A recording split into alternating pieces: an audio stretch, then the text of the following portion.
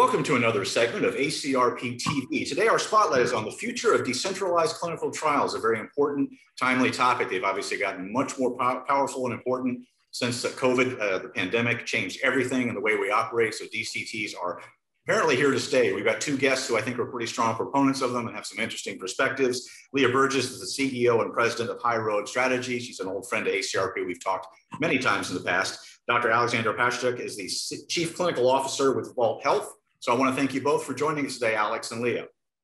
Thank you. Lovely to be here.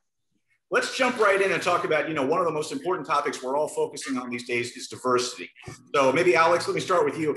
How do you think decentralized clinical trials can advance patient diversity and widen this tent to make clinical trial patient populations more diverse? Yeah, Michael, you know, I think that's that's an extremely important question and very relevant, uh, especially given how few subjects get into trials, and and, in particular, um, a, a, diverse enough subject subject population to actually make the results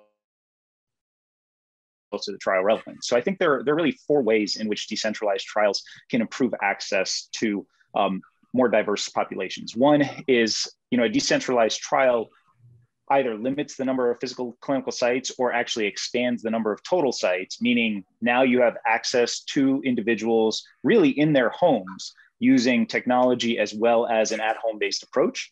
You know, two, um, you are able to engage subject populations that historically have had poor or no access to healthcare and enabling what we would call clinical research as a care option you know, for example, these would be government government managed care populations, those under Medicare, Medicaid, and populations that just frankly have very limited ability to travel to clinical sites, whether that's to see their doctor or, you know, let alone to see their doctor or to participate in a clinical trial.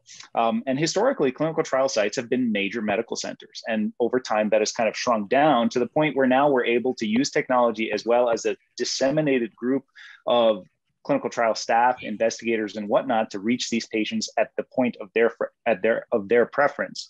You know, and really three, and I misspoke when I said four, but but three is partnerships with and across large academic centers as well as smaller clinics. The use of technology, the use of um, decentralized trial platforms has facilitated that, making making the use of physical clinical sites easier should the need arise for a subject to go there. Ellie, I'm sure you've got thoughts here. I know this is an important topic to you as well. Yeah, I think simply stated, it brings research closer to the patient populations that we want to serve. And it does it in a manner in which it's simplified, it's straightforward, um, and our patients understand um, what they're part of and how they're making a difference. So I think simply stated, it's the new way of reaching our patients uh, in their backyard. So let's talk about study startup. That's obviously a huge issue, and we've been sort of flatlining on that one, or it's out, or it's gotten worse in some ways as as protocols have gotten more complicated. There are various factors at play, but trial startup has been stubborn. How do you think decentralized trials can help speed study startup? Maybe go with Alex first. Okay. Yeah. Okay. Um, no, and and I, I again, that's that's exactly the point right? We're using technology to break down the barriers that you need to get studies started right? So recruitment is a huge issue in clinical trials. Um, and part of the reason for that is having access to the right subject populations and then having those subject populations actually decide to engage in research right? There are a lot of inherent frictions to that. So you know the ability to recruit and engage subjects virtually and in person at their point of at their point of choice is huge right? That reduces the reluctance of somebody to have to get on a bus a train a plane or get in their car and go somewhere.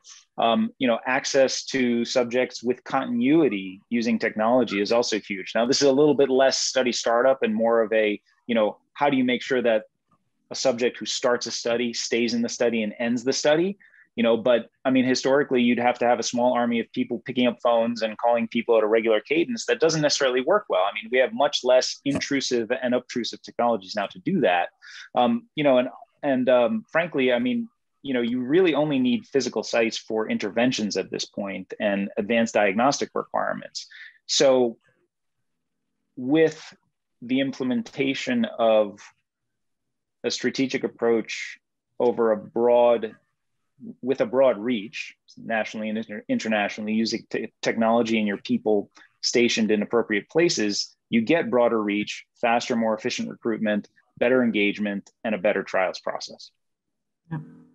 I think the key for from the site perspective is adaptability and being able to plug and play where you may have gaps or needs or things happen. And I think an important element of this is the pandemic pivot that I've mentioned before is that, you know, the way that we do business, the way that we operate in clinical research administration operations is different.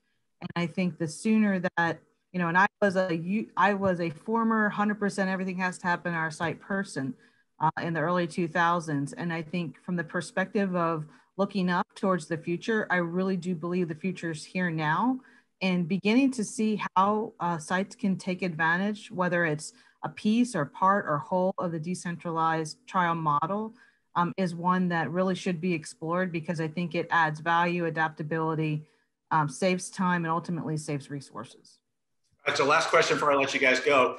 You guys know, you know, with PIs, principal investigators, the one and done phenomenon, it's been a challenge PIs have been struggling in this industry. Some get involved, they get overwhelmed, they leave because they, frankly, maybe didn't know what they were in for. And the churn has been a problem. Do you think decentralized clinical trials can help turn the tide there? I mean, what, I guess what I'm asking, what are the advantages from the PI perspective, perhaps, for decentralized clinical trials?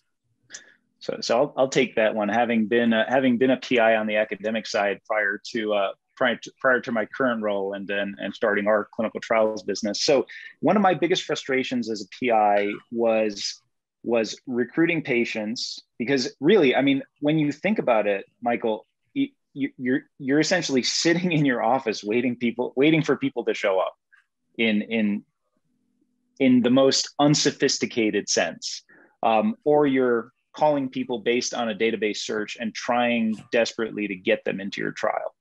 Um, I think a lot of that goes away with the decentralized approach for all the reasons that we've talked about today. The other big frustrations were in having to use a disparate group of systems to manage subjects through a trial in a way that never really quite worked. And you know, when we talk about decentralized trials today, we're, we're talking about a concept, but we're also talking about technology to support what is the human need and the human engine that powers trials. And that's not going to change. But ultimately, systems have been developed that smooth this process so much more from top to bottom. And that's from getting patients through the door, help, sorry, subjects through the door, helping them get through the trial, letting me as the PI watch this and intervene and engage as needed rather than having to you know bang my head against the wall not knowing a lot of critical things during the trial and um, you know and, and helping them stay engaged and helping me stay engaged. All right Leigh i'll give you the last word. Yeah sure. Thanks. I appreciate it. So the from the site perspective the very first thing that came to my mind is that the smaller groups within universities. So usually there's some groups that have more resources than others and they are interested, but it's difficult to hire a CRC, a data manager, a nurse to connect into a larger consortium or network.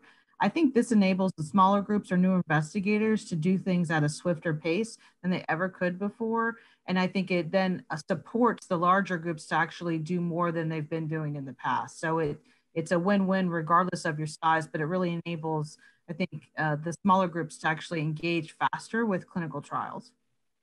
It's got the makings of an exciting future. Hey, I want to thank you both for joining us today, Alex and Leigh. This has been our ACRP TV spotlight on the future of decentralized clinical trials. We've been speaking with Alex and Leigh. I want to thank you both so much for joining us today. Thank you. Thank you, Michael.